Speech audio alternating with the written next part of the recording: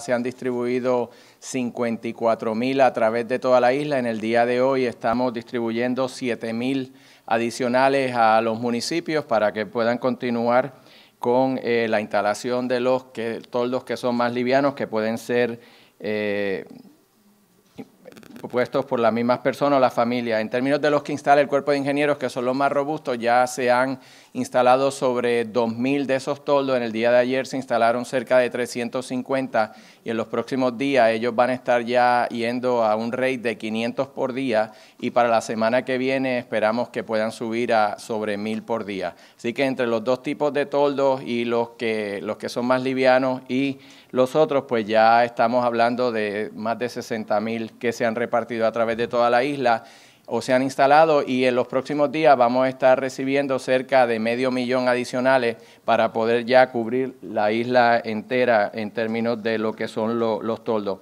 En el día de ayer distribuimos sobre un millón de litros de agua a través de toda la isla. Este nuevo número nos lleva a que desde que comenzó el evento ya hemos distribuido sobre 20 millones de litros de agua a través de todos los municipios. Ayer también se distribuyeron 700 mil comidas a través de, la isla en los municipios y esto nos lleva a un total de 16.7 millones de comidas que se han distribuido.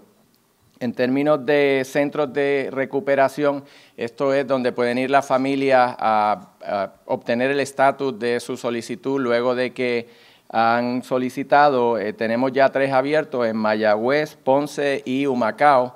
Y en el día de hoy, entre hoy y mañana, estaremos abriendo en Arecibo y Barranquitas otro centro de recuperación donde las familias pueden ir a ver el estatus de sus solicitudes. Las solicitudes las siguen haciendo a través de, de la tableta electrónica, del site de FEMA o por internet. En términos de asistencia monetaria a municipios, agencias de gobierno, eh, ya le hemos aprobado 416 millones de dólares que están corriendo a través de los municipios y las agencias para que puedan eh, hacer los trabajos de emergencia o reembolsos de trabajos que ya han hecho.